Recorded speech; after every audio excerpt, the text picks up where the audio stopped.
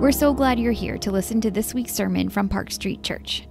Park Street is a historic congregation located in the heart of Boston. But more than that, we're a community of people from all different backgrounds who believe and are united by the good news that Jesus is Lord. Visit us at parkstreet.org to learn about our community. Jonathan Edwards, he's remembered as America's greatest theologian, and before he died, he became president of Princeton University. But early on in his, uh, as a young man, in 1729, he became pastor of uh, the Congregational Church in Northampton, Massachusetts. And as he arrived there, he discovered that the state of the souls were, in his words, very degenerate. He talked about the young people who, in their words, the young people participated in frolics, which were night walking. They were frequenting the taverns and lewd and foolish practices. Edwards concluded that the church and the town were full of, in his words, dry bones, which was this form of godliness, but the spirit was not there. These were respectable folk living a powerless orthodoxy. That is, they had right beliefs, they had orderly worship, but they had hard hearts.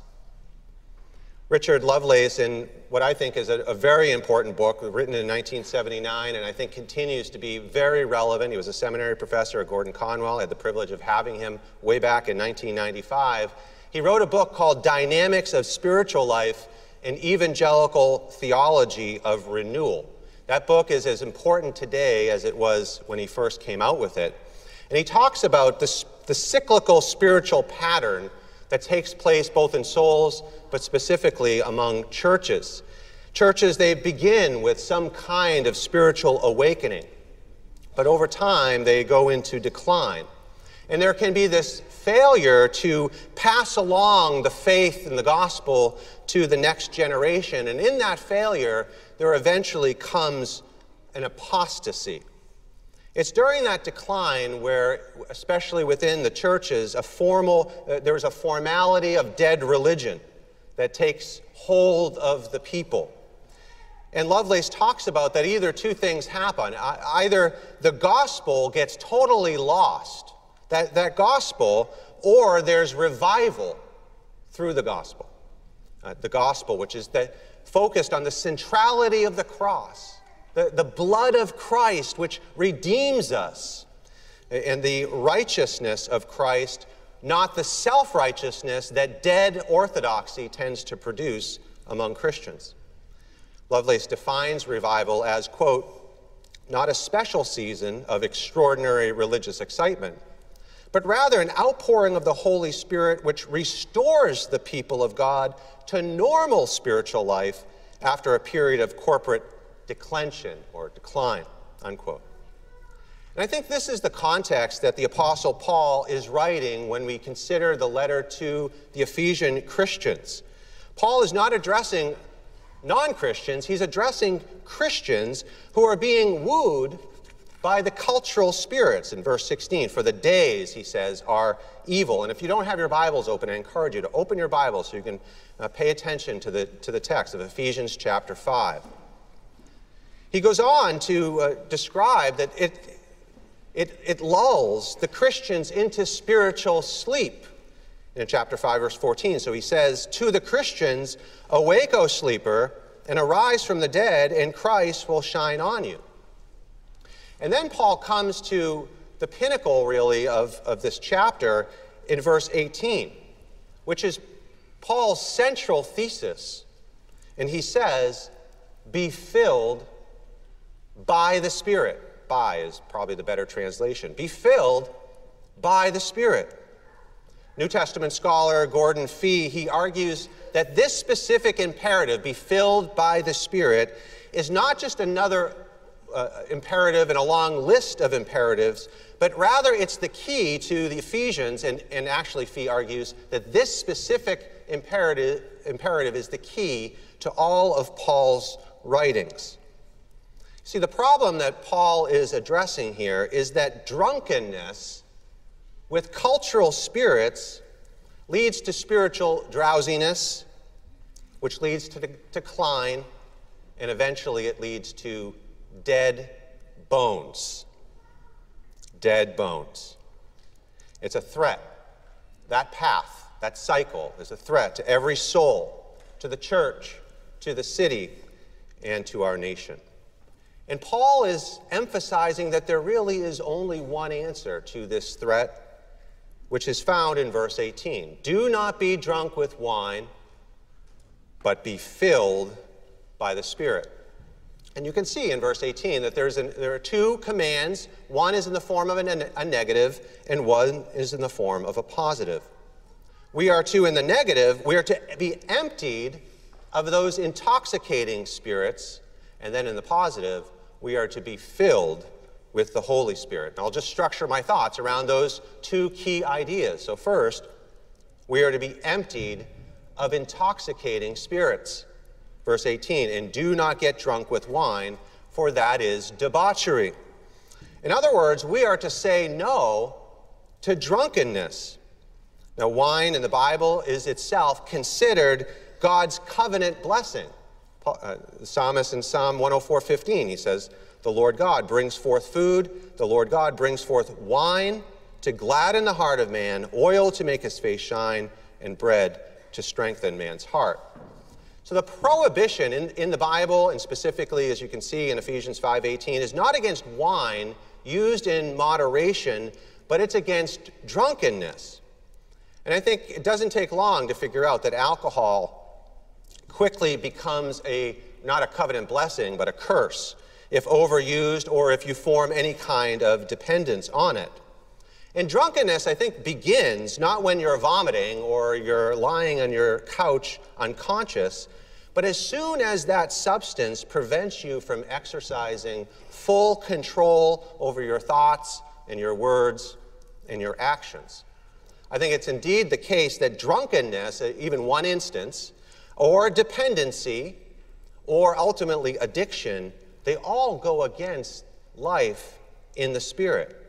The Holy Spirit, He opposes drunkenness and that dependency on it and that addiction to substances, and He is the one who truly can set us free. In fact, when my father, when he was in his late 30s, he was a heavy drinker uh, and he, a chain smoker.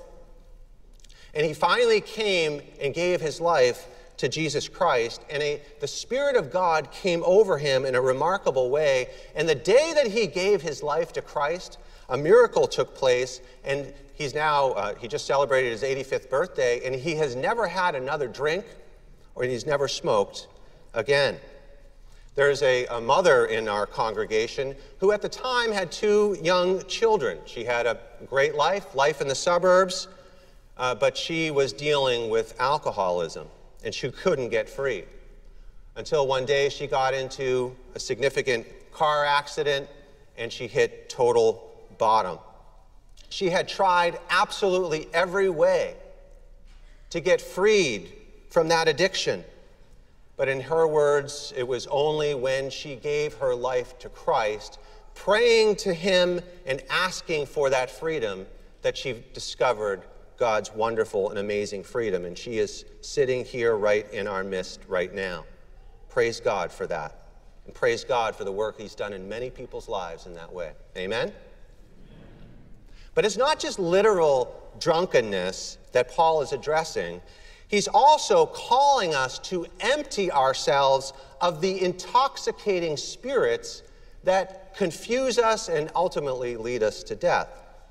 There's, in fact, if you look carefully, there's a, there's a parallelism between being drunk with wine and being filled by the Spirit. It's clear in the Greek, in the original Greek, but both are imper- imperatives, both are in the passive present tense. Uh, both of these ideas of wine and the Spirit are conceptual, conceptualized as liquids, wine literally a liquid, and the Spirit who fills us, which is kind of a liquid verb, And both are in the passive tense, so that when either one of those substances, the wine or the spirit, enter into you, they overtake you and they control you. So you can begin to see why he's comparing these two things. But not only so, but then Paul uses this word debauchery. Uh, do not be drunk with wine, which is debauchery. Now, I don't know about you, but I don't even know what debauchery means, and I've never even heard it before, and probably you don't use that word either. But it's important to understand that in the Greek, soteria is the Greek word for salvation. It can be translated as health, as wholeness. Sometimes it's translated as eternal life, or it just means salvation. We're being saved from something. The word debauchery in the Greek is asotia, uh, which basically is the ah, is the negation of salvation. It's it's anti-salvation is what he's talking about. And I think uh, maybe the best translation for this word is a lost life. So do not be drunk with wine, which is a lost, it leads to this lost life. And the Ephesians, I think, would have understood what Paul was doing here by his comparing the drinking of wine and the Spirit, because he was alluding to the worship of Dionysus.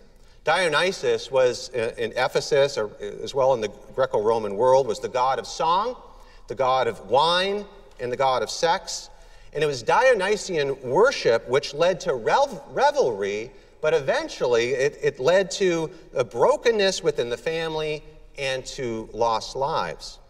And so Paul is juxtaposing, if you kind of consider what's going on here, he's juxtaposing the Dionysian anti salvation, that debauchery, with the Holy Spirit salvation. And then if you consider in verses 19 through 21, the Dionysian sort of worship, it leads to lewd songs, which was common, uh, but the worship of the Spirit and in the Spirit leads to psalms and hymns and spiritual songs to the Lord, verse 19. One leads to the temporary suppression of problems through the drinking of alcohol. We know that's why many turn to it in the end or get addicted. Uh, but the other, the Holy Spirit, it leads to the giving of thanks and thanksgiving. And we know if you follow the path of the Dionysian worship, it leads to broken marriages and broken families Whereas if you follow the salvation path of the Holy Spirit being filled in him, it leads to verse 21 mutual submission within the family. So, this is part of the reason under, that, that underlies why Paul is emphasizing these things as he's comparing these two forms of worship. Do not be drunk with wine, which is this lost life, actually applies to all of us, even if you don't even drink at all. It actually does apply to you because it, it's, a, it's a metaphor. It's literal, but it's also a metaphor for not allowing yourself to become under the influence of any kind of intoxicating spirit, whether the Dionysian spirit or the many other substances, ideologies, or spiritualities that exist all around us and seek to intoxicate us, confuse us, dominate us, and eventually it will lead indeed to those dead bones. So, what about you? Are you under the control of some substance? Is there some ideology that is confusing you and leading you to do things that you should not be doing? Is there some spirituality that's not of the Holy Spirit that needs to be broken? You see, the first step that Paul in his negative prohibition, the first step of being filled with the Spirit is that you have to become empty of these other spirits, these false spirits which fill you up. You can't be filled with the Spirit if you have these other spirits in you. And so it, each one of us needs to confess and to repent of those spirits. And I wonder do you have something that you need to bring before the Lord in confession? Something that's controlling you, something that you're dependent on, but it's not the Holy Spirit. I'd like to call you, invite you to bring those things, even now as I'm speaking, to the Lord. So, in order to be filled with the Holy Spirit, first we have to empty ourselves of these defiling kinds of spirits. But second, now in the positive, the Apostle Paul says we are to be filled by the Spirit. What does it mean to be filled by the Spirit? And how can we be filled by the Spirit? And I'd like to engage uh, this over those, around those two questions. First, what does it mean to be filled by the Holy Spirit? That Holy Spirit, who is the third person of the, the one true God. He's co eternal, co equal, co substantial with the Father and with the Son. These three persons who form one being. This Holy Spirit who is given by God as God in the direct and unmediated way in which we have relationship with the living God. So that if you put faith in Christ, it's not that God is up there and we're down here, but God comes down and indwells the believer so that his spirit is intertwined with our spirit. And it's his love penetrates and intertwines with our soul so that we understand and know his love. Uh, that was not necessarily the case in the Old Testament, in which the, the Spirit could come and go. They did not have yet the indwelling ministry of the Holy Spirit, which is why in Ezekiel 37 14, there is this prophetic expectation that I will put my Spirit within you and you shall live. But it becomes fulfilled at Pentecost when Jesus Christ pours out his Holy Spirit upon the church, beginning the church, over the disciples, and we enter into that ministry of the Spirit, of His indwelling, continual presence, when we put our faith in Christ alone and trust in Him as our Lord and Savior. His Spirit immediately indwells the believer within your soul. Your soul becomes entwined with His soul, and He will never leave you or forsake you. Paul says in 1 Corinthians 3, verse 16, 16, Do you not know that you are God's temple and that God's Spirit dwells within you? And so, this indwelling ministry of the Holy Spirit, it's this wonderful bond.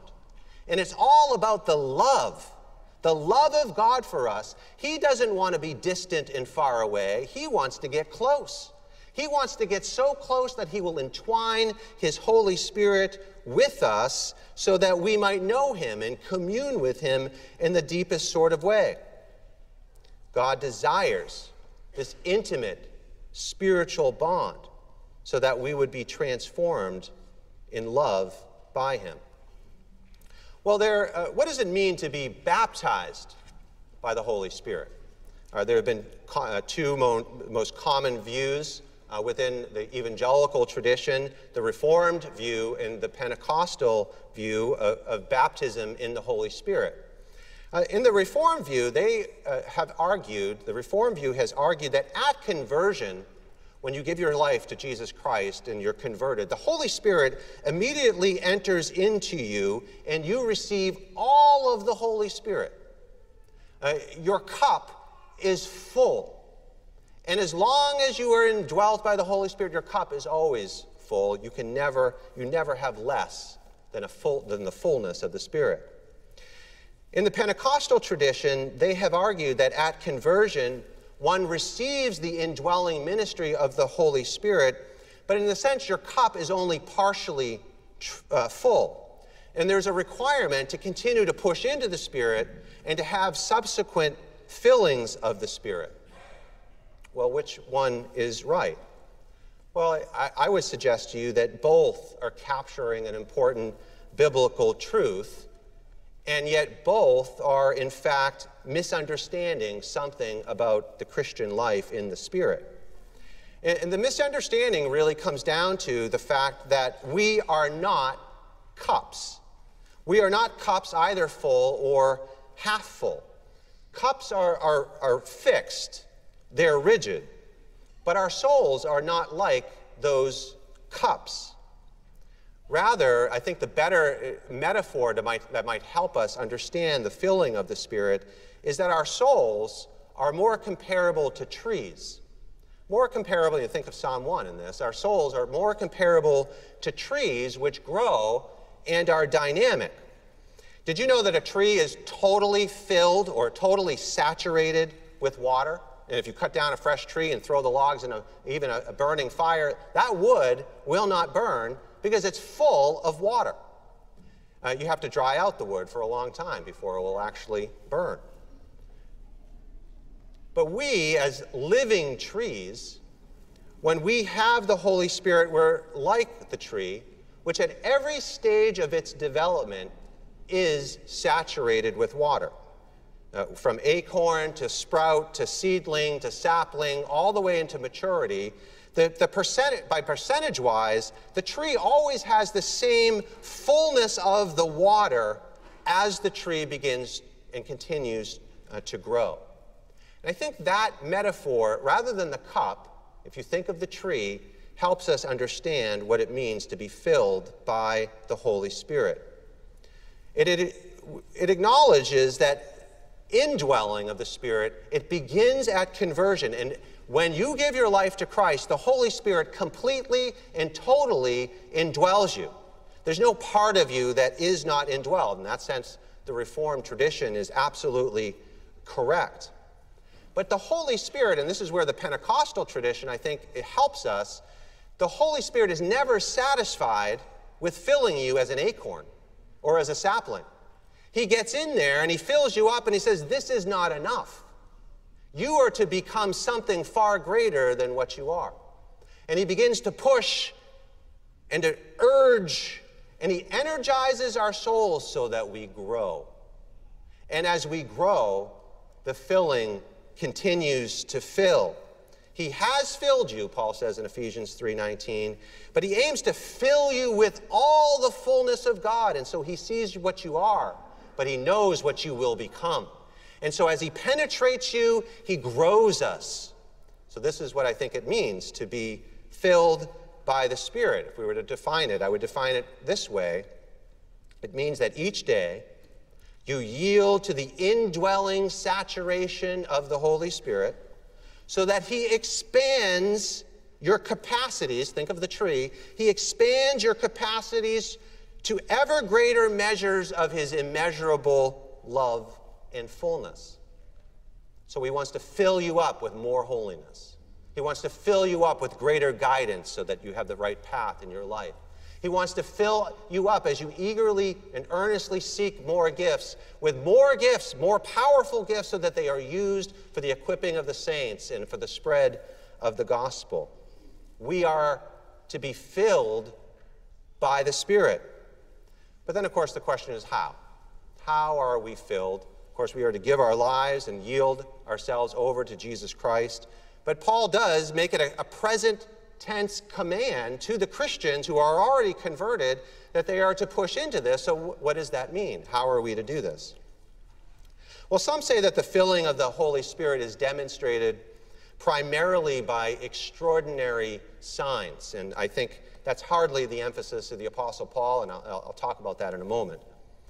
But then some have, in a kind of a pendulum swing, have reacted to this emphasis of the need of extraordinary signs, and they've actually become quite skeptical of the extraordinary work of God through His Holy Spirit upon us. And this is actually what happened during the first Great Awakening, in which many of the Boston clergy, as it was taking out in West, uh, taking place in Western Massachusetts, they, they doubted and they were criticizing the revival that was taking place as sheer emotionalism.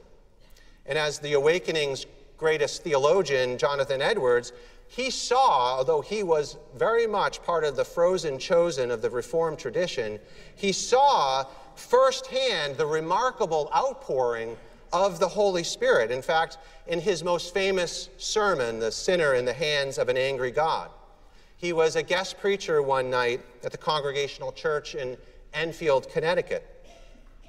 And it's important to know that Edwards was uh, by no means a, an eloquent speaker. In fact, he was known to read his manuscript uh, in somewhat of a monotone voice. And despite his, uh, his delivery, he could not, at this particular night, he could not even finish the sermon. George Marsden, in very good book that Tracy and I read a few weeks ago. Definitely recommend it. A Short Life of Jonathan Edwards. It's a biography of Edwards. Very good. He writes about this particular night when Edwards was delivering this specific sermon, and I'll quote Marsden, quote, the tumult, as he delivered the sermon, the tumult became too great as the audience was overcome by screaming, moanings, and crying out, What shall I do to be saved? Oh, I'm going to hell. Oh, what shall I do for Christ? One of the fellow ministers who was there that night, he recorded that the shrieks and cries were piercing and amazing. And a number of souls, he says, were wrought upon the, that night.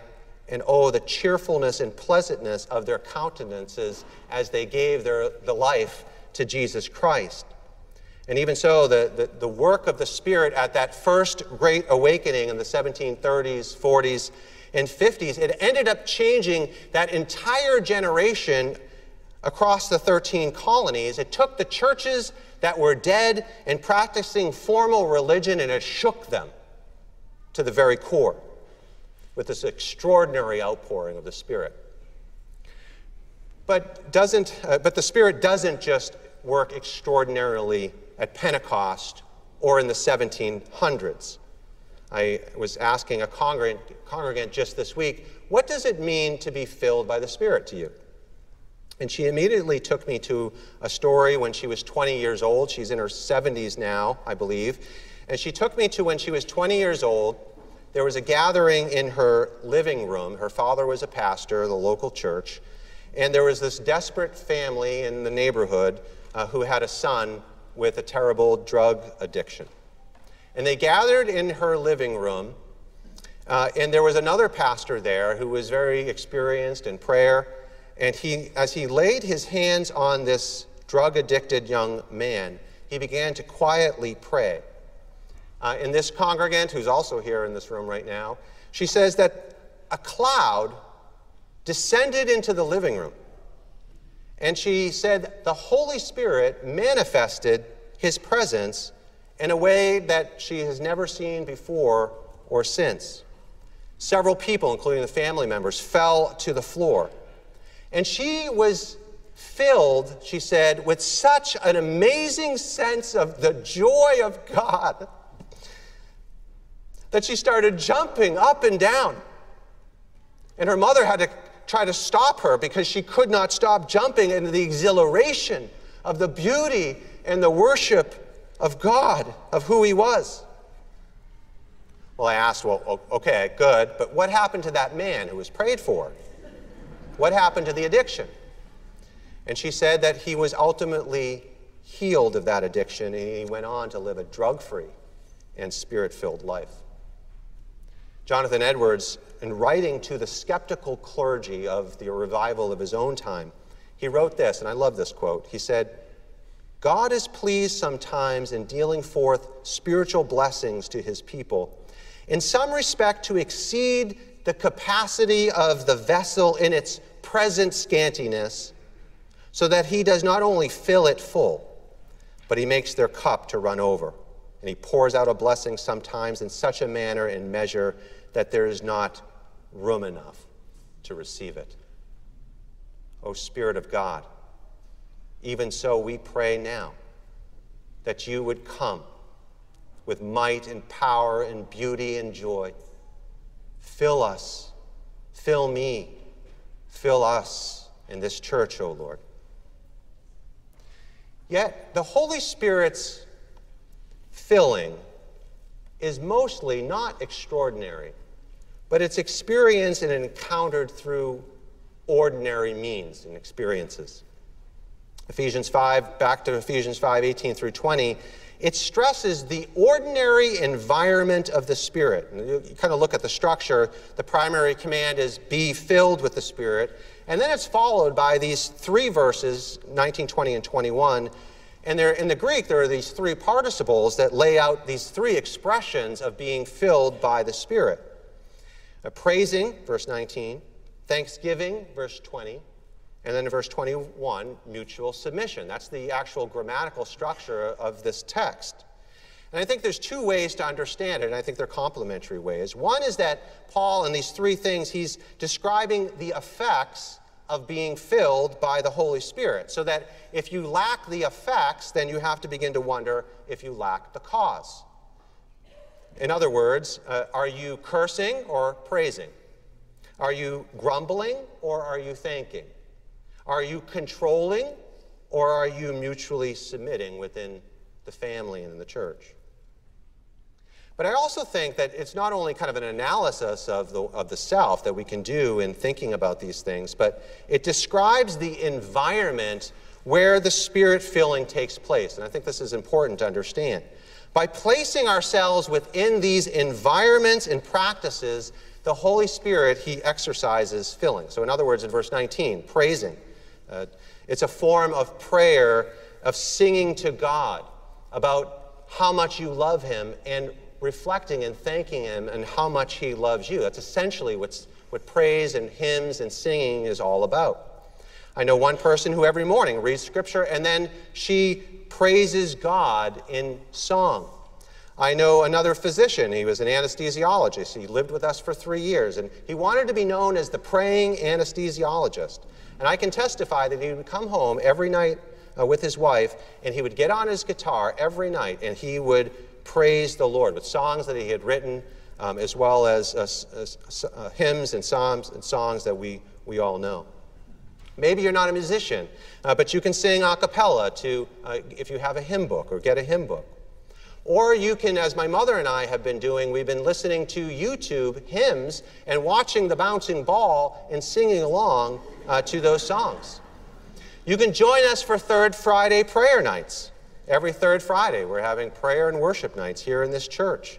Or, of course, you can join us every Sunday singing from the heart to the Lord. So, as you enter into the environment of praise, what happens is the Holy Spirit who is in you, he begins to expand and he wants to push out and he wants to grow you. It's the same thing with thanksgiving in verse 20 giving thanks always and for everything to God the Father in the name of the Lord Jesus Christ. We're to consistently and daily count our blessings and, and name them one by one. We're to practice what some call negative thanksgiving, in which we give thanks to God even for the really hard things. And as you do this, you enter yourself and you bring yourself in this practice in an environment of thanksgiving and the Holy Spirit. He says He's going to grow you as that tree, and He pushes out as you enter into that environment. Or thirdly, He he talks about mutual submission in verse 21, submitting to one another out of reverence for Christ. And this is where we, we prefer other people's desires rather than our own. We listen to one another more than we talk. We think more highly of others above ourselves. And as you enter into that environment of a humble submission, the Spirit pushes out and He grows your spirit. And as He pushes and grows you out, you become more filled. I think finally it's important uh, to consider as we study this specific text, uh, this passage, Ephesians uh, 5 18 through 20, is in direct parallel with another letter that Paul wrote, Colossians chapter 3, verses 16 and 17. If you put these two texts, you look at them side by side, you'll see that they're essentially identical with only one difference. In Ephesians 5, he says, Be filled with the Spirit. And at the same place where he's identically writing to the church in Colossae, rather than say, be filled with the Spirit, he says, let the word of Christ dwell in you richly.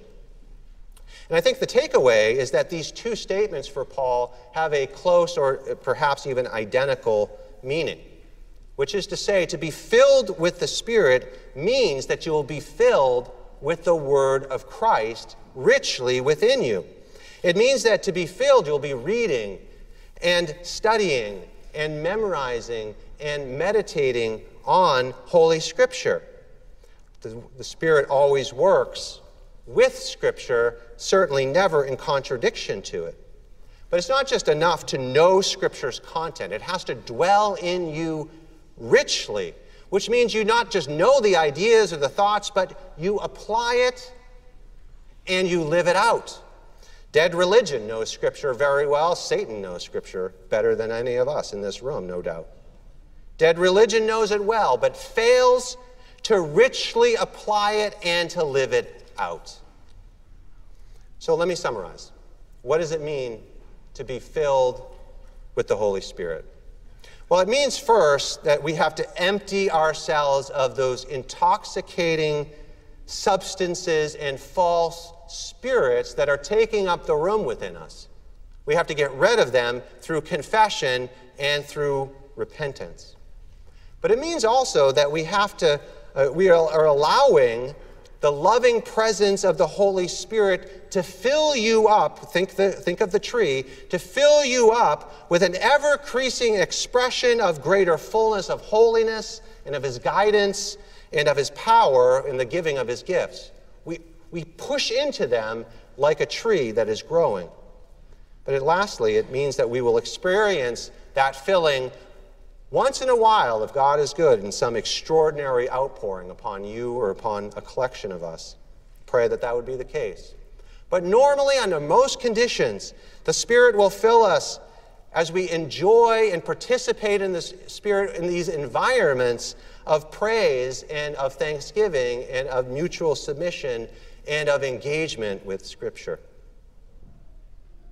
Well, by the 1730s, when Jonathan Edwards began pastoring in Northampton, Massachusetts, in that congregation, the hearts of the people, they were stone cold. And in fact, most of the churches in the region, the fire, the fires of the Puritans that had laid down the churches generations before, they were out, or nearly out, in decline. Then in December of 1734, something extraordinary happened, in the words of Edwards, the Spirit of God began extraordinarily to set in. In the town, there were about six people who suddenly and in, all in succession were savingly converted one after the other. One of them was a young woman. She was, in fact, uh, Edward says, the leader of the frolics. And she became completely changed as she met Jesus Christ. And many began to speak to her, asking what was happening and speaking to the others. And something remarkable took place within that town so that something spiritually shifted, not only in the church, but across the town. And Edward says the noise of the dry bones waxed louder and louder. That was December 1734. By the summer of 1735, just six months later, the entire town of Northampton was utterly changed spiritually, Edwards records. People could not stop talking about Jesus, about his kingdom, about the blood that was shed. Edwards says that secular work had almost come to a complete stop because the people could not stop talking about the Lord and studying and praying. And Edward stresses that it all began with the young people. It's the young people that are the catalyst. It's the young people that, that is, are necessary for the revival and the awakenings to take place. It began with them, but it did not stop. Uh, Edwards says that almost no one would ever come to Christ in a conversion experience in their uh, as a middle aged person. But during that six month period of time, 50 people came to Christ who were in their 40s. 20 people came to Christ who were in their 50s. 10 people came to Christ in their 60s. And he says two people in their 70s were converted to Jesus Christ.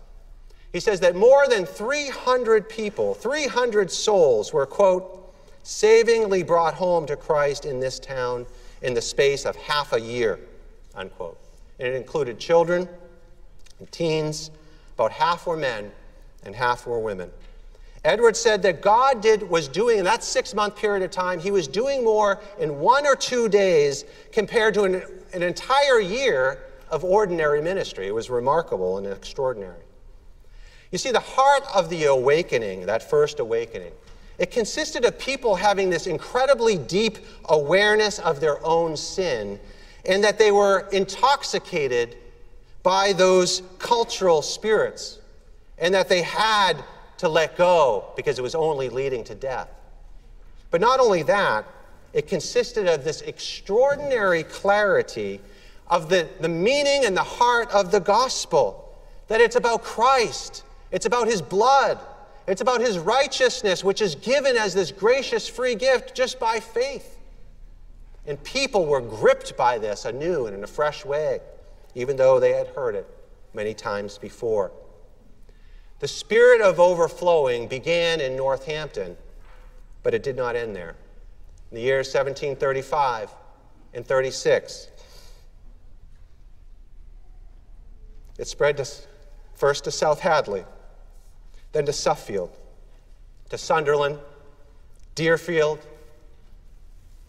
Hatfield, went to West Springfield, to Longmeadow, and then in Enfield, Connecticut. The minister said, More has been done in one week than the last seven years of ministry combined. Springfield, Hadley, Coventry, Stratford, New Haven, Guilford, Mansfield, Tolland, Hebron, Bolton, Preston, Woodbury. And that was only the beginning.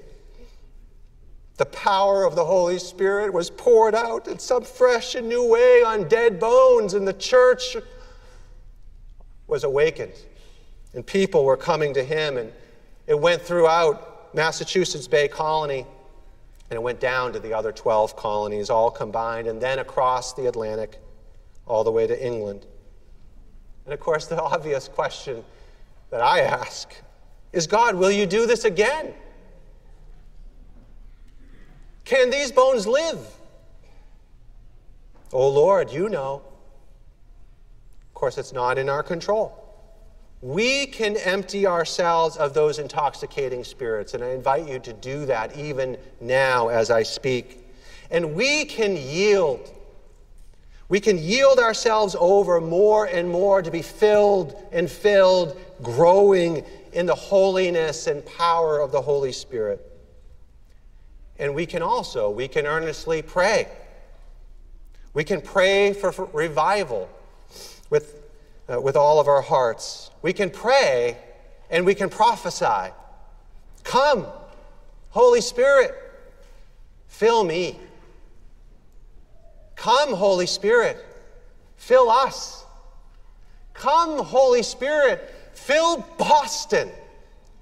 Come, Holy Spirit, fill our nation. Fill this world with your Spirit.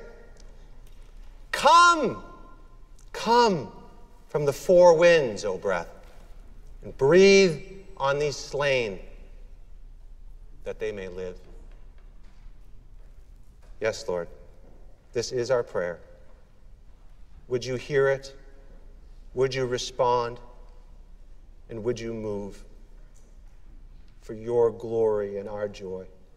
Oh, how we need you to do this afresh on us and on this world on this city and well beyond. We ask it in the name of Jesus. Amen.